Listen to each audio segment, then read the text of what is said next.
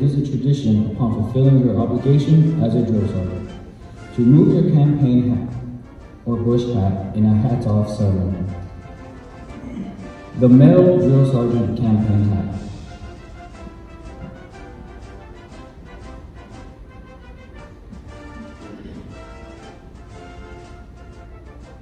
The current drill sergeant hat evolved from the straw or felt slouch Hardee hat of the 1850s through the Cedar Creek's designs of the 1880s to the present day modified Montana peak, which was adopted for wear by the Army in 1911 and abandoned in 1942. In early 1964, the campaign hat was reintroduced to become a most proud symbol for drill sergeant. The drill sergeant, chosen to train soldiers for combat, wears a campaign hat as a testament of their demonstrated professionalism and proven leadership. The female drill sergeant campaign hat.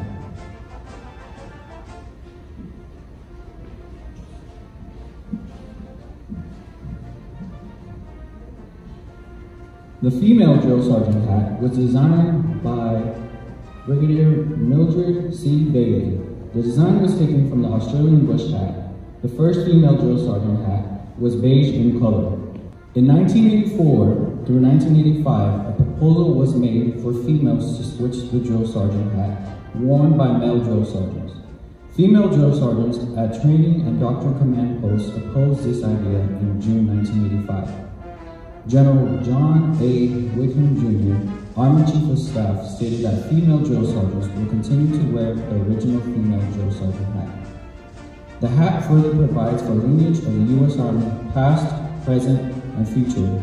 Although these two outstanding NCOs have more than earned their distinctive headgear, it is time for them to remove this headgear and move towards the new objective.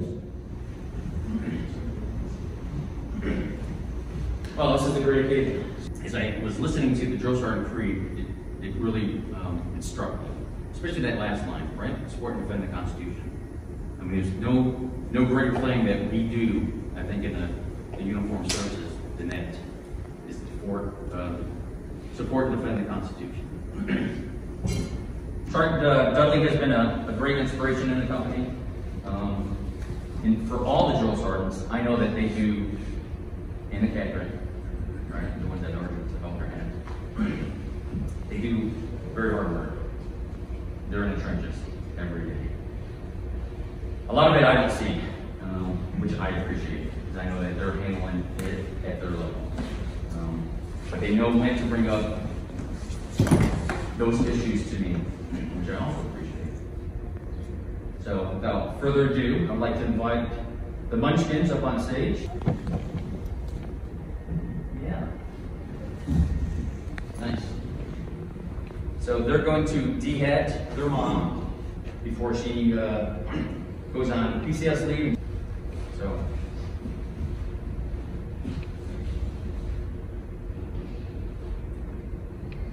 So.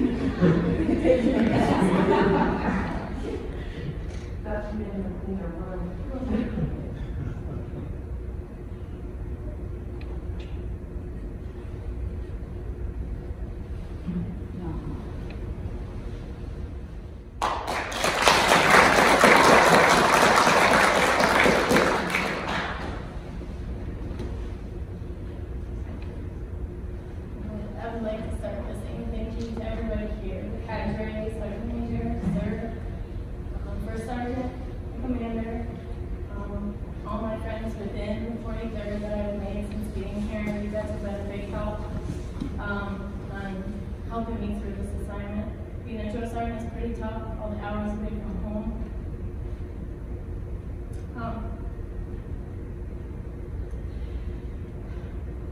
he came to get through this. It's been a very great experience. I've learned a lot since being here. And I hope to take all this with me when I go to Fort Knox and then for the rest of my career, and take with me forever. Thank we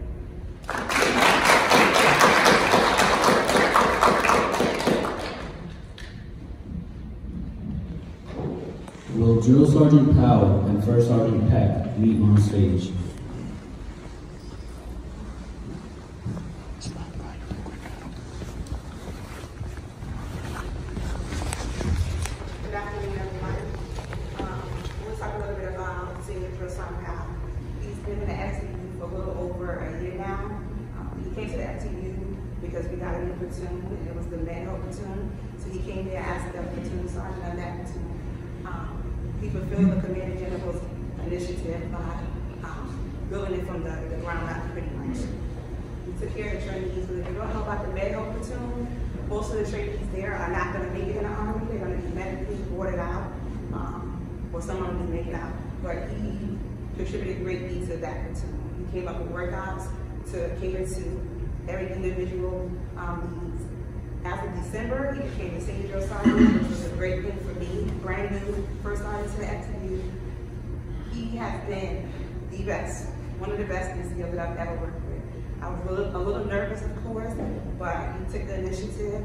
His first mission was the HBL mission. We did not fail. That was a successful mission.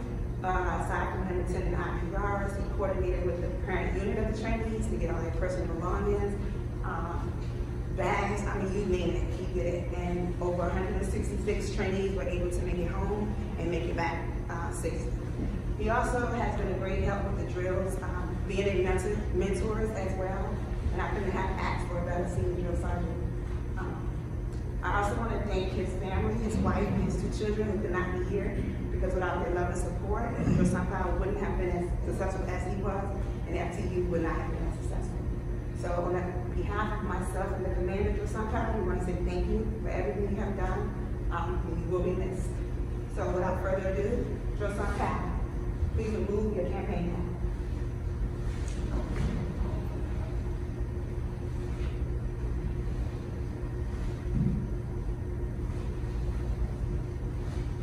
So,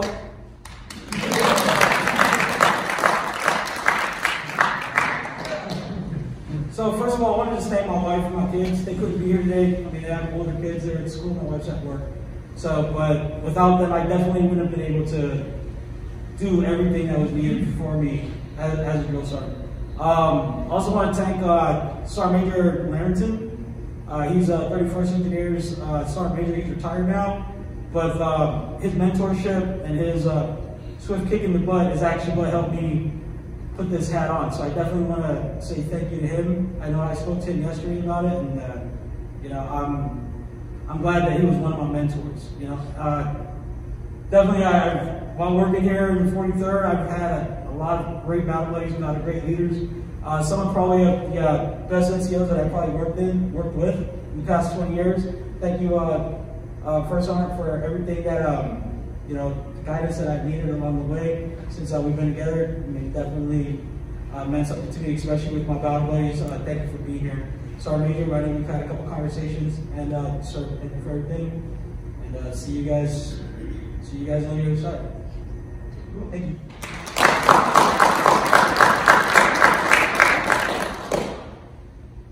Will Command Sergeant Major Dion M. Simpson lead on stage?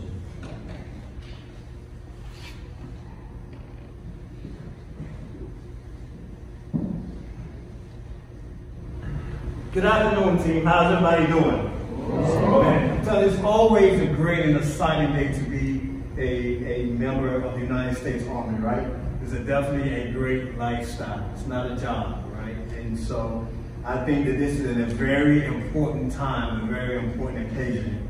We want to get together and just send out a great, you know, farewell to um, two of the 43rd finest.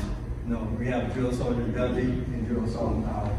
Um, and so they have came forward, they have said the Drill Sergeant Creed uh, for one last time before they had it. And I will tell you, um, your accomplishments, selfless service, dedication um, for the team, for the mission, uh, will not go unnoticed. And we'd like to thank you for um, all that you have done to make us and the Army to be successful in that mission. And so I really thank you.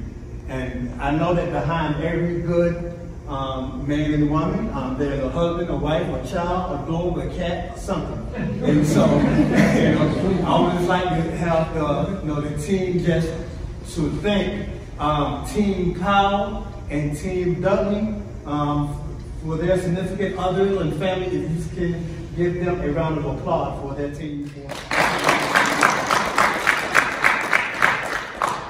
And so, again, on behalf of the battalion commander um, also the EXO, and the whole team and staff, we really thank you um, for fulfilling your obligation as a drill, um, the long hours, you know, that you have put in, and then just your family for, you know, borrowing us, you know, your expertise. And so I wish everyone the best of success in your future endeavors, and I look forward to seeing you out there in the field as you continue to do great things. And thanks for being a part of the team, and thank you for all that you've done.